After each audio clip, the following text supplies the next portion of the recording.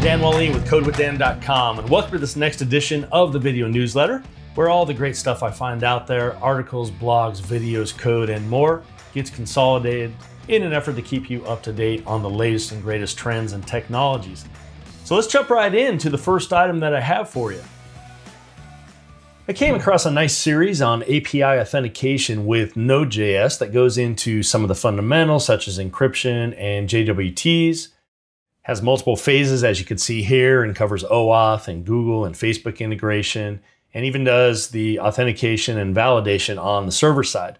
So definitely something to check out if you're interested in learning more about, for instance, Passport.js and how that module can be integrated into your apps and other options that are available. Next item I wanted to cover isn't actually new. I saw it a while back, but I've had a lot of people ask me lately about doing end-to-end -end testing and browser automation. Now there's a lot of options out there. For instance, I know in the Angular crowd, we like to use Protractor, but there are others as well, and this is one of them. It's called Nightwatch.js, and they provide what looks to be a very simple way to perform these end-to-end -end automation type tests. They'll basically wrap some Selenium functionality, it looks like, have a built-in test runner, and a lot of other great features that you can see here. So definitely something to check out if you are working with end-to-end -end testing and try to automate that process more. Another project I stumbled across recently is called Express Gateway, and this is something for Node.js and Express, of course, and it's designed to be for microservices. So it provides an API gateway, orchestration, and really a quick way to get up and running when it comes to microservices running with Node.js and orchestrating others that might be running elsewhere.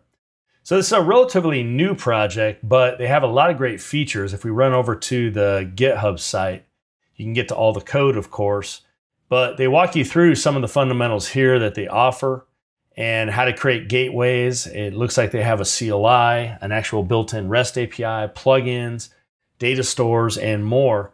So if you're working with microservices and also have Node.js as kind of the entry point to that, definitely something you might want to explore.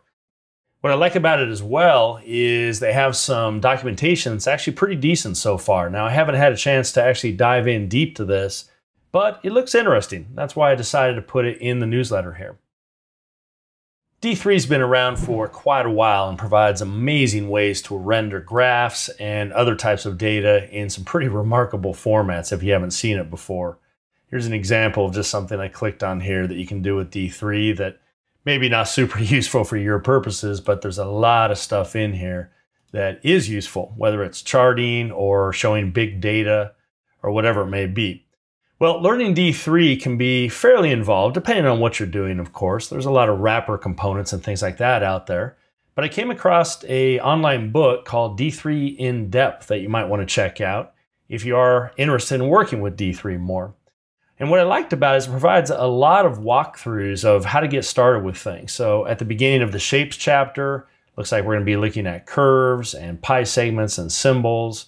Talks a little bit about SVG and how that works, and then goes into details about how to do some of the more simple things, like how do we render lines using D3. So if you're interested in rendering a lot of different types of graphics, again, whether it's business charts or other types of data, then check out d3indepth.com. Next item I wanted to highlight is actually on my blog, and it's something I put together because I had a lot of people asking me about where to get started with ES 2015 or TypeScript or Angular type code. So I list 10 different projects starting from the basics of just language syntax for ES 2015. Here's a module example, for instance, and these all have projects and code you can get to on GitHub. Here's one for TypeScript that has a lot of different ways you can use TypeScript and some of the syntax. And then from there, the rest are Angular and TypeScript projects. So I range from a hello world to I have kind of a bare bones one that adds a little bit more to a little more complex ones on forms. Here's a jumpstart one. This is actually what we use in our Angular on-site training classes we do for companies. So we actually build this app throughout the class.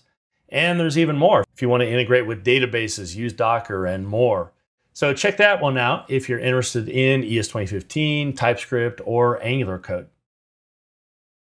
The final item I wanted to mention in this edition of the newsletter is called Shoelace, and they had kind of a clever slogan here. It says, Back to the basic CSS starter kit for when you don't need the whole boot.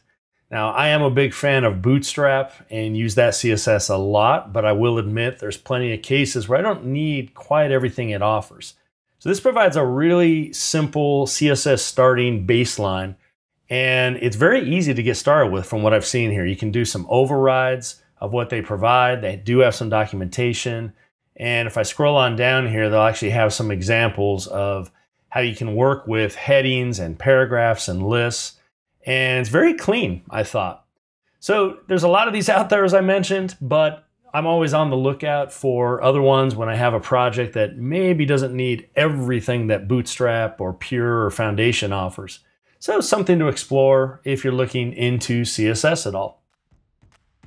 Well, thanks again for tuning in to this edition of the Code with Dan Web Development Newsletter. Hope you found a few things useful.